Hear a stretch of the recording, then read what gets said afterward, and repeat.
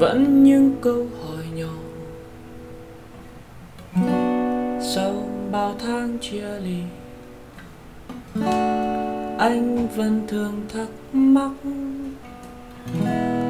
khi anh không làm gì.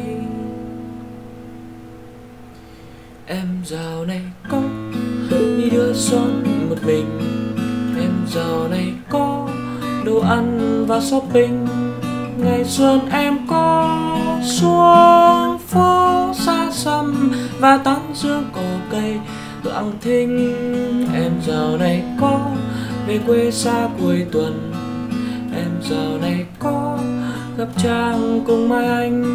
Hàng đêm em có nghe hát xa xăm từ quán ăn phù du ngoài sân. Và tình yêu, và tình yêu tình yêu mới. Dạo này người ta có khiến em cười. Và tiền tiêu và quần áo và đồ chơi mới. Xin chưa thay nuông chiều làm ta lười hơn.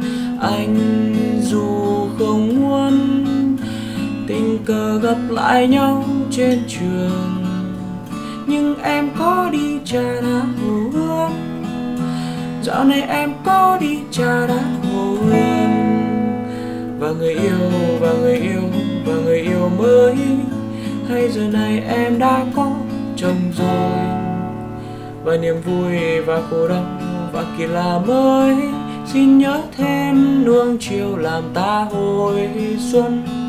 Anh dù không muốn tình cờ gặp lại nhau trên đường có đi trà đá hồ gươm nơi em có đi trà đá hồ gươm anh dù không muốn, tình cờ gặp lại nhau trên đường.